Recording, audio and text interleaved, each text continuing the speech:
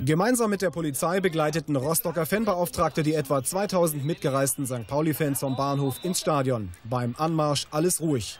Im Gegensatz dazu tolle Stimmung im ausverkauften Rund nach elf Minuten, denn der FC Hansa Rostock ging nach einer tollen Ballstaffette Hofschneider, Studer, beinlich in Führung.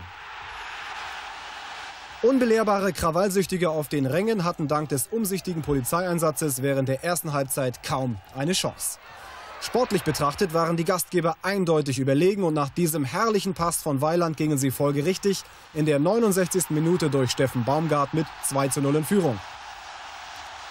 Fünf Minuten später allerdings fiel Aufregung am Spielfeldrand. Dem Linienrichter tränten die Augen, er musste behandelt werden. Auch im Rostocker Fanblock dicke Luft. Niemand wusste so recht, woher sie kam.